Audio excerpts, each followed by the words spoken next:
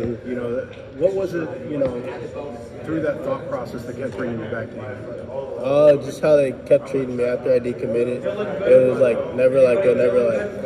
I don't know. Just, they just kept it like I was always a priority to them. Um, as far as their season, didn't have the best season on the field. They have a lot of young talent uh, coming up. You know, how did you view their results, and what was the message from the coaching staff there? all that? Uh, sure, like trust the process. Uh, everybody stay there, stay, stick together. We can we can do something in the next, next couple of years. We've seen you do a little everything at Lagrange, uh, offense, defense. Is it corners and safety? What are they really pitching? Uh, corner. And then, so T, uh, Coach Rushing, I assume you're your head recruiter there. Uh, And uh, what are you looking forward to under Coach Rushing? So with him as a coach.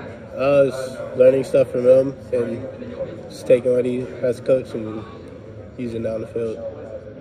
What, what do you make of uh, Tony Grimes, a guy like him coming over from the portal, uh, you know, playing basically the same position as you? Uh, well, I talked to Tony. Uh, that's cool.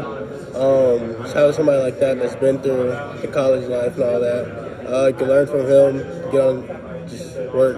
You know, obviously, it takes everything a lot of guys. So, and what do you, what do you feel that? I mean, just being a guy that's on the way in, what's your outlook on the Uh, I, I don't know. Really, it was just like they hit the portal, so what? Like, still to work. Are there any programs that kind of that are close to you to coming in and getting on you? And, uh, what some programs that you really thought about uh, lately?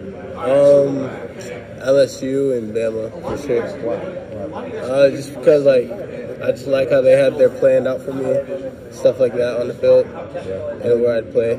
From Louisiana, uh, just what was, how, how, what was the process of saying no to LSU? Uh, I mean it's DBU. Uh, I liked it. You know, like uh, I just like I was keeping it there.